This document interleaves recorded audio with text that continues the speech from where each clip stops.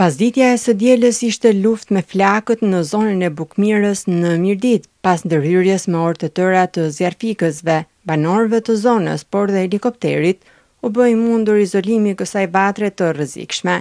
Sot në Mirditë situata duket më e qetë dhe duket se ka një normalizim të situatës.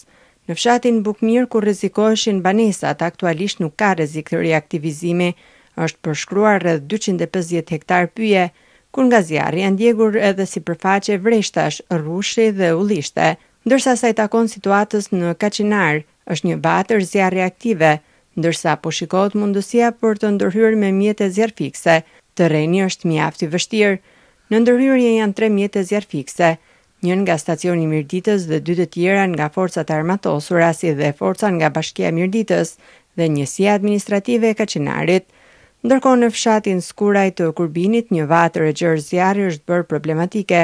Flakët po përhapen më shumë për shkak të erës së fortë dhe temperaturave të larta. Për shkak të terrenit të thyer malor është e vështirë të ndërhyhet me zjarrfikëse. Për këtë, ka nisur operacion me pesëdhjetë zjarrfikës dhe një helikopter për ta vënë zjarrin nën kontroll.